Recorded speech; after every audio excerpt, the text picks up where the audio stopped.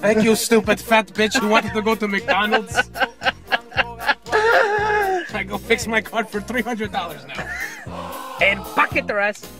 That's completely legal. We could say that. Yes, yes. Google told me so. Where are we going? Very expensive strip club. Yay! carina,